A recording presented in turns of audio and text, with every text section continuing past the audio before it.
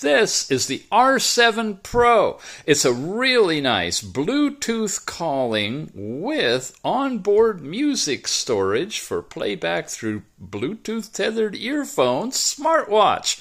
Lots of different controls here. Do not disturb, ring your phone. This allows you to turn on and off the connection for Bluetooth calling. So it's easy to activate it if you want the watch to ring for your calls, or just simply deactivate it and the phone will, of course, take the call directly right there. You have access to a music player that will play music stored on your uh, watch, just like I said, like this.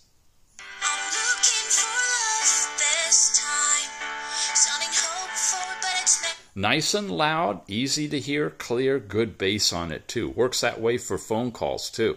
You got step count and uh, distance traveled and all of that kind of stuff. Last night's overall sleep time. You also have heart rate information shown, 24 hour basis from midnight to midnight against the scale. And one more swipe would take you to weather in your area and it shows you where you are, your temperature in centigrade or Fahrenheit, and of course, uh, forecast for the next day.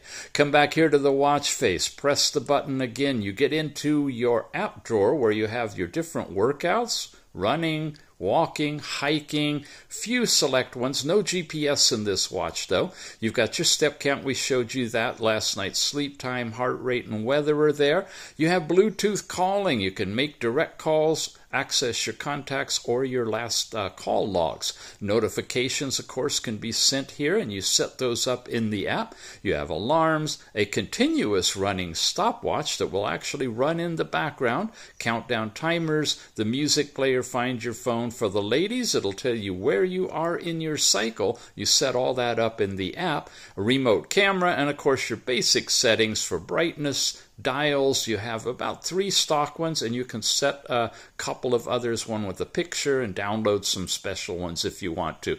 The H-Band app, notifications, and wipe out the phone if you want to completely erase, all of your data from it as well. Like I said, stopwatch will run in the background, which is a rare feature on these smartwatches these days. So here it is with their label, label, label and logo right on the uh, buckle as well. It is the R7 Pro. Check it out.